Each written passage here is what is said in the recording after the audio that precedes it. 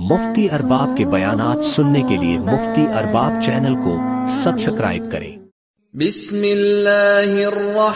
अगला सवाल यह है कि ये पूछते हैं मुफ्ती साहब ही बताइए कि मुफ़्त हुआ ये कि इमाम साहब से नमाज़ में क्या हुई कोई गलती हो गई?